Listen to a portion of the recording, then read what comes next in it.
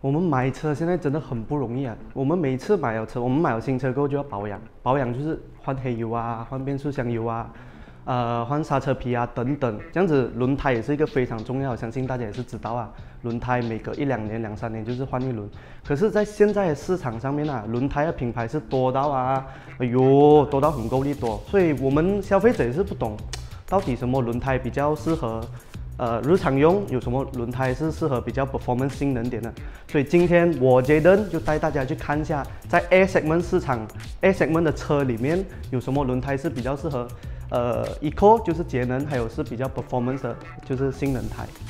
现在我们一般上在 city 比较多看到的车嘞，A segment 来讲是 Beza、阿夏跟 Saga 这三大国产车，这样子这三辆国产车嘞。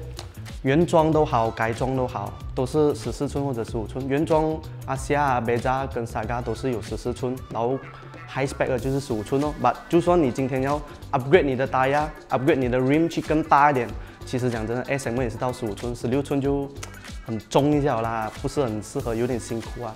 So 十四寸跟十五寸的胎压，其实哪一个寸比较适合这些 S segment 的车？所以今天呢，我们就直接针对十四寸还有十五寸这两个尺寸的轮胎来分享一下啦。究竟这三款 S segment 的车型呢，如果用十四寸，应该要用什么尺寸的轮胎，然后用什么类型的轮胎最适合？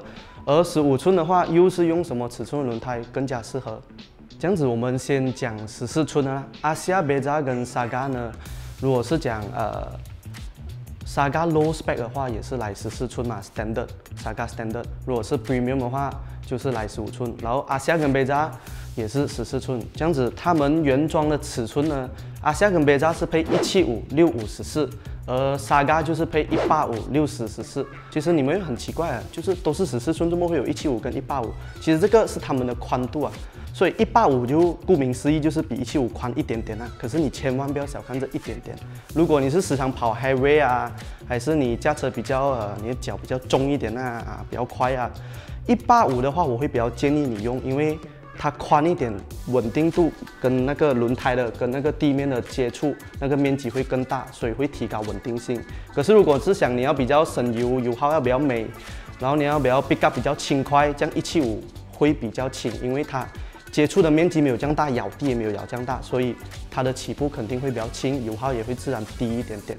这样子十四寸的轮胎又有什么比较值得推荐使用的嘞？我们先不要讲这个轮胎，我们一般上分成两种，一种是 Eco 节能胎，就是比较注重油耗啊、耐用度啊，比较全面性的轮胎；一种就是 Performance 胎啊，就像那种呃 Michelin BS3、BS4、Bridgestone 的 IA003 这一种胎啊，比较 hardcore 一点的。这样子，其实讲真的，十四寸呢，你要 performance 就是新的轮胎是很少，几乎是没有，因为都讲十四寸了啊，原厂给到你十四寸，像阿夏贝扎就是为了主打节能，所以十四寸的大家自然就是没有性能胎，只有节能胎。这样子节能胎有什么好介绍呢？四款，第一款都有 Nano Energy Tree，然后第二款是啊这个 Hankook 的。Kinergy Eco Two，还有 Bridgestone 的 Ecopia EB 一五零，最后一个就是 Michelin 的 XM Two Plus。这样这四款轮胎为什么我本身会比较推荐呢？OK，先讲呃 Ecopia，就是 Bridgestone，还有这个 Hankook 的 Kinergy。如果你是阿夏或者 Beza 车主，你一定对这两款轮胎不会太陌生，因为第一款的这个阿夏跟 Beza 呢都是标配 Bridgestone 的这个 Ecopia EB 一五零，然后 Facelift 过后就是用 Hankook 的 Kinergy 啦。这样子，为什么原厂会标配这两个轮胎呢？呃，这两个轮胎其实讲真，舒适度是真的不错，而且照顾到油耗很全面性啊，就是湿地也好，干地也好，油耗啊，那种舒适它的软度啊，全部都是做到很平衡的。这样子，XM Two Plus 可以讲是这四款轮胎里面 performance 比较高一点的啦，因为 Michelin 啊，可是 Michelin 的售价当然会比较贵一点啦。然后再来就是多优的 Nano Energy Tree，其实这一款轮胎我自己本身也是有用过，啊，就是很安静，然后很舒服。可是下雨天湿地就节能胎嘛，不要去讲究这样多啦。Overall 是 OK 就对了啦。这样子这四款轮胎呢，嗯，其实不会太贵了，大家不用太担心。因为十四寸其实要贵也贵不到哪里去啦。这四款我介绍的轮胎，我推荐的轮胎呢，都是从一百二十到一百五十之间呐，左右这样子的价钱。这个价钱只是供你们参考。这样子我们讲完十四寸了，其实十四寸算是一个很原装的尺寸嘛，很多人买哦买了车不要讲么啊，下边再跟沙嘎，我看过很多车主十四寸原装来，一拿车就换 rim 了，换十五寸，因为美。可是十五寸其实你们要很注意啊，阿西亚贝扎跟这个沙嘎，因为是 S M 车型啊，所以。他们十五寸是可以用，可是他们的轮胎不能用太厚或者换用太阔，所以在这一方面呢，都上到十五寸了，自然就会有新轮胎。所以很多人会好奇啊，就是我到底要怎样选？我又想要 performance，我有时候又要想要这个舒适啊，comfort 啊，eco 一点，这样子哪一个轮胎？如果我要性能，要选哪一个？eco 要选哪一个？这样子，接下来我们就针对这个话题来讲一下啦。我分享推荐大家十五寸有什么好用的轮胎。这样子，首先我们先讲啊，为什么轮胎如果用十五寸不能用太厚或者太宽？因为其实十五寸啊有很多个尺寸，从十五寸开始讲啊，有一六五、五四十五、一七五六五十五、CD 原装、一八五六四十五、一八五五五十五、一九五五十五十五六十，然后到二零五是最 max 的宽度。可是如果是讲 Saga 啊、阿夏跟 Beza 呢，我是呃。比较建议，而且一般上人家只会使用一八五五五十五，或者是一九五五十十五。一九五比较宽，我刚才有讲过，一九比较宽会比较稳定，可是五十就这样薄这样子。可是为什么我们只能用这样薄诶？因为其实很简单啊，如果你用到五十五一九五五五十五的轮胎，它厚啊，可是 S M 车型它的那个轮拱的面积很小，如果是你再重，或者是你过不平的路的时候，那个。suspension 下来的时候就会磨到你的轮胎啊。还有一点就是要看你用的 sport rim。我们原装来，呃，Saga 跟 Beza 有十五寸嘛，high spec 的车，他们的原装 rim，如果你有仔细看，它他们是在那个轮拱的里面的，就是它是 stay 在里面的，是被保护着。可是如果你换 rim，其实一般让你外面市场上的改装 rim 嘛，呃，我们都讲 offset，offset 就是呃，简单一点来讲，offset 越低就是轮圈越靠外。Offset 越高，就是轮圈越靠内，就是有点像原厂的 level。如果你换外面的改装 rim，通常 Offset 都是三十到三十四左右啦。它们的触度已经是跟你的这个轮拱一模一样了，就是这样平平。所以当你的 suspension 你过不平的路，还是你载你整家人出去吃饭的时候，太重它下来，你轮胎的胎壁就一直磨，磨久了很容易破，很容易裂，然后每天磨你自己心里也心痛啊。心心痛啊！所以呢，五十的胎压是比较适合用的。如果你真的想要更加咬地一点，要用一九五嘞，你只能用到五十。五十五你可以用，可是可能你 suspension 要改一下啦，sport spring 啊，adjustable 啊，硬一点哦，它就不会上下上下这样哦。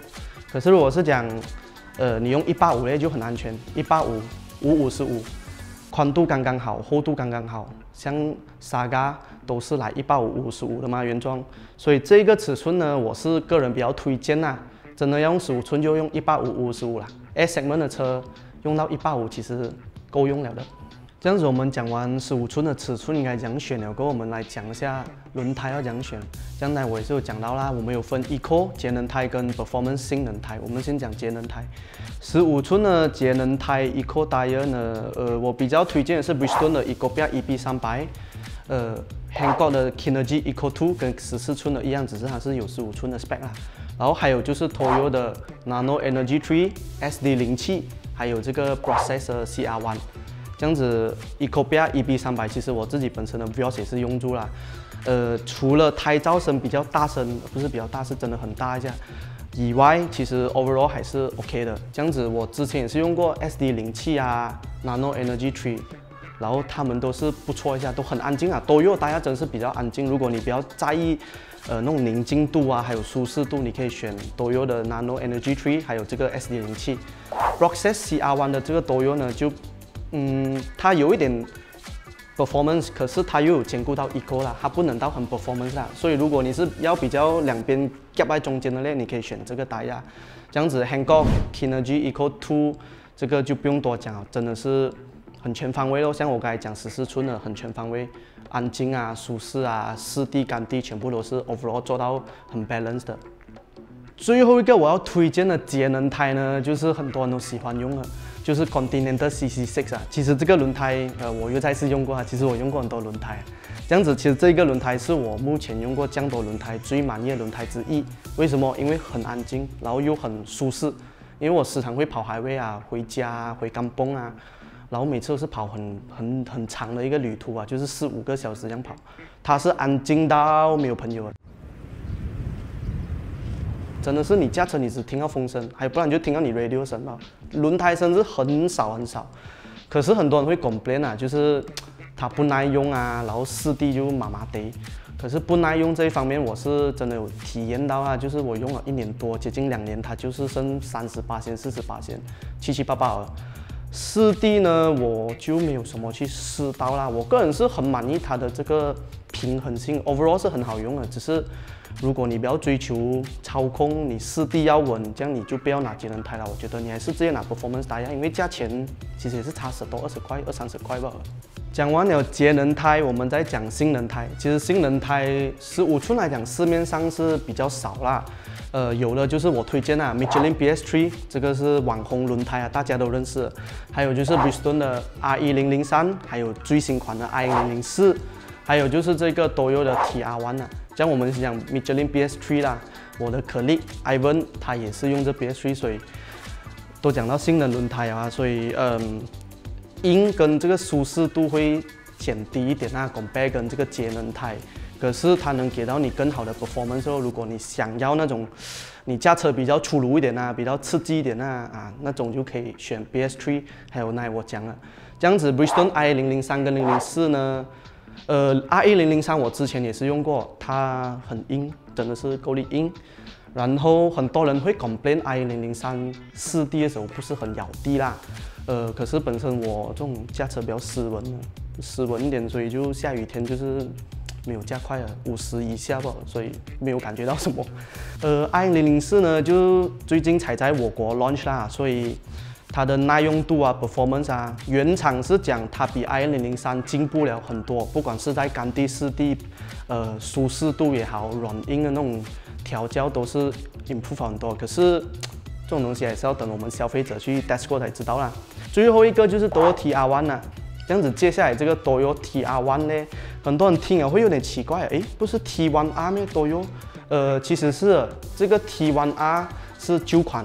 T R One 是新款，它取代了之前的 T One R 啦，所以是有点乱乱水啊这个名字。所以 T R One 呢，这个轮胎呢，我没有用过，可是我朋友在用着他的 C V，他的 C V 他讲除了轮胎硬一点，胎噪大一点，其实 overall 是很好用的，而且售价也不会太贵。所以如果你喜欢的话，你可以去问一下价钱那些哦。OK，这样跟大家分享完十五寸的节能胎跟性能胎的。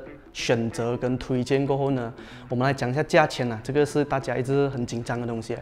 呃，节能胎刚才我讲到那些 Bridgestone 啊、Ecobia 啊、Hankook、Eco Two 啊都有啊，它们的价钱都大概是在一百五十到一百七十或者八十左右啦。我们这边会列一个表，你们可以参考一下，这个价钱只供参考。再来就是性能轮胎啊，Performance 大家来我介绍的那几款呢。价钱一般上啦都是两百二到两百五之间左右啦，这边也是会有个表，你们也是可以看一下啦，也是参考用罢了。这样子，所以如果你今天呢是想要呃很省油啊，然后比较经济一点的啦，你没有在意什么 performance 啊、handling 啊，这样子你绝对是不用想啊，直接拿 eco 那种 eco 的胎压就对了，因为。很平衡嘛，全面性，不管是跑 highway 啊、湿地、干地啊，油耗都帮你照顾到美美，就是稳稳。可是如果是讲你很在意操控的话呢，你的脚又很重，手又不能停了这样呢，这样子你还是拿 performance 打压啦，performance 打压还是给到你比较安全、比较稳定的 performance 啦。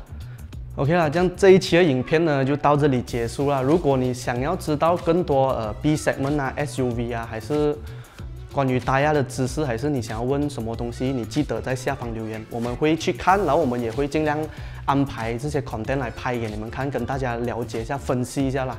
这样子记得啊，如果喜欢这一次影片，按赞、分享、订阅啊，subscribe 啊，一定要 subscribe 啊。OK，我们下一次影片再见，拜拜。